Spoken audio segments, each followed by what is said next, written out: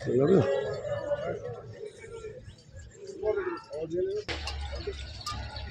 ऊपर ही ऊपर ही धीरे हाँ कोई हाँ जितना भी स्टाफ है अपना हॉस्पिटल का ना, दो गाड़ी खाना जी। खाने की चिंता ना है।